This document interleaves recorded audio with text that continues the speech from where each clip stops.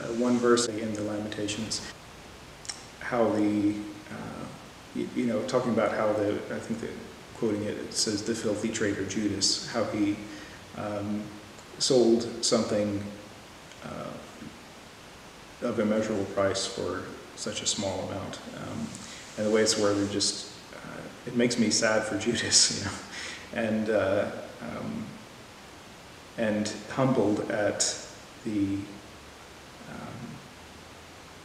I, I guess at the way that God lowered himself to that, you know, to that price of 30 shekels, you know, or 30 pieces of silver.